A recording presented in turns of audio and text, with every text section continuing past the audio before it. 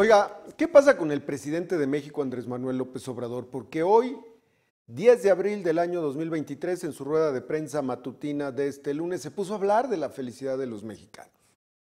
Este, somos vergüenza mundial por la manera como dejaron morir a migrantes. O sea, las cuestiones económicas van de mal en peor en el país. Aquí en Michoacán las balaceras y la violencia está desatada. Y el presidente presume que México es un país feliz, que los únicos enojados, a huevo tenía que soltarla, que los únicos enojados son, son los conservadores, que son los únicos enojados. O sea, de verdad, ¿en qué, en qué mundo estamos viviendo o, o, de, o cómo se ve el país desde Palacio Nacional? ¿Sabe cómo se ve?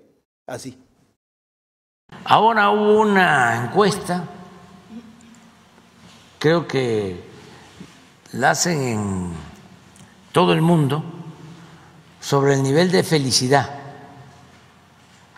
de los pueblos de los distintos países del mundo.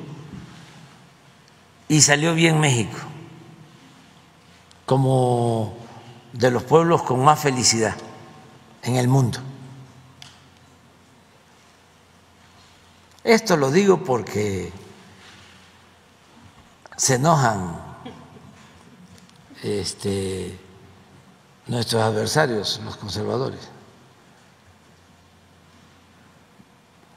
No es cierto, van así.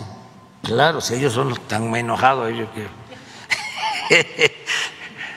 ellos no este no este contestaron de que estaban felices, seguramente si les hicieron la encuesta.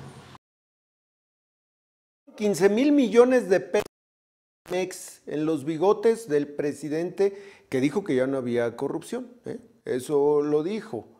Estamos luchando porque se respeten las instituciones democráticas que tanto trabajo han llevado a construir en este país. El narcotráfico se está metiendo en las elecciones. Se ha confirmado y comprobado que bandas delincuenciales controlan ciudades completas. ¿Qué le está pasando al presidente que sonríe?